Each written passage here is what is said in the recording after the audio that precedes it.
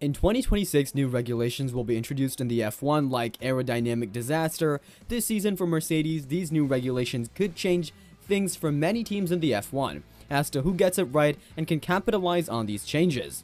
FIA has stated four main reasons for introducing these changes that we will cover in this video.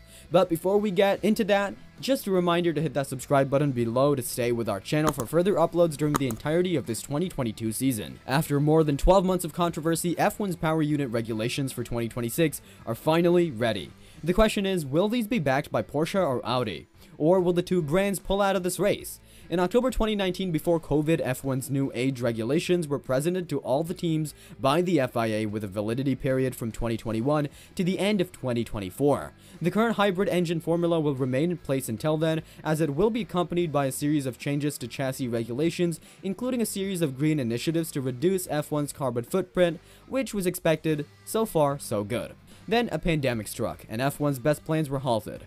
The existing chassis regulations were extended by over a year with minimal changes for cost reasons. And this shortened the life of the new regulations by one year. The engine regulation remained in limbo until Honda announced its withdrawal.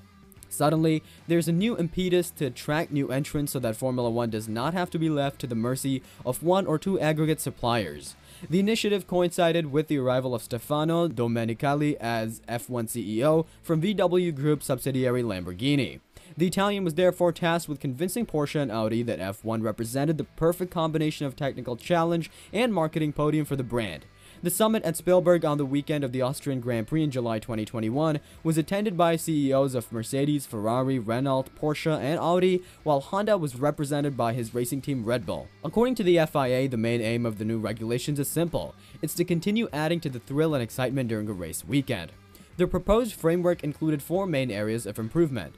Number one, setting an engine cost cap and allowing newcomers a number of financial aid operational exemptions. Number two, MGUH exhaust power energy recovery systems were prohibited for reasons of cost and complexity. Number three, ICE slash hybrid power contribution will be around 50-50 instead of 75-25. Number 4, CO2 free fuel will be mandated and it was to be introduced in 2026. Porsche and Audi have conditionally granted overall framework approval and board approval to both brands. Audi has brought out McLaren and Sauber outright, and Porsche has reportedly signed a 50% deal for him from Red Bull. Both are off the point mainly because they were frameless and failed to define their brand.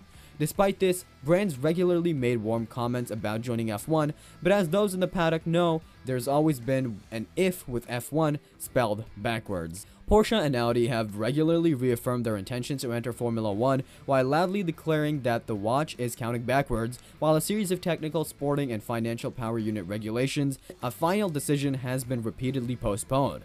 This was music to the ears of existing PU suppliers who doubled down on their tactics, and the Volkswagen Group underestimated the number of bastards here in Formula 1. Commented the team boss sarcastically, Audi and Porsche announced their intentions to enter F1 too clearly, too early, and too enthusiastically. All technical differences are significantly smaller than originally stated, allowing incumbent driver unit manufacturers to adopt larger parts while newcomers have to develop a completely new power unit in a shortened time frame. Red Bull's engine operations, which began preparations over a year ago, are either under the umbrella of Porsche or his RBPT. Audi has not yet established an F1 standard engineering or operational structure and has not made significant expenditures Worse, as far as we know, they haven't run a concept engine nor have any seasoned F1 heavyweights on the spot. A project for sister brand Porsche is indeed underway, but Audi's program is in relative decline. To stay up to date with all of Formula 1's news, remember to subscribe to our YouTube channel. Thanks for watching.